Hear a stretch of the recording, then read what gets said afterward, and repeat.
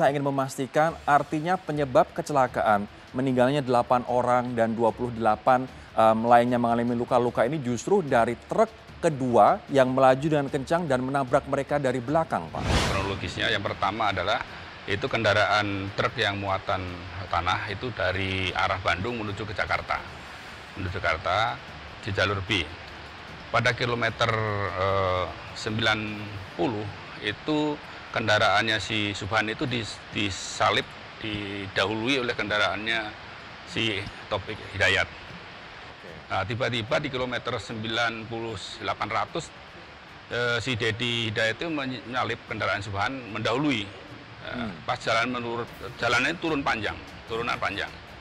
Kemudian Dedi Hidayat ini nelpon Subhan bahwa informasi eh, angin dari sistem